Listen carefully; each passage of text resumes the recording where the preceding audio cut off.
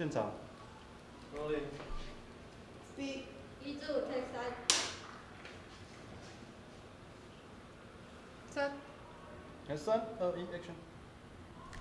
大家还记得学校教育的准则吗？合群、服从、整齐划一。合以利群，辅以从师。听话、安分守己的孩子，才是国家未来的。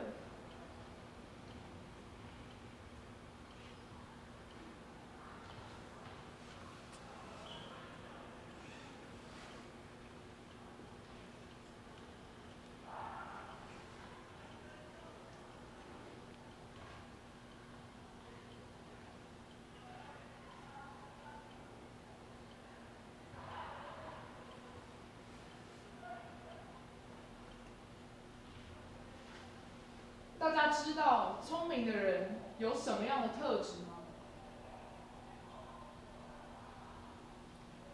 看老师哦。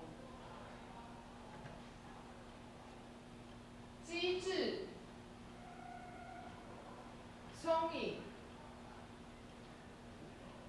伶俐，这样的人真的很有想法。可是老师还是觉得学生只要背课本上的东西就好了。好哎呀不错不错。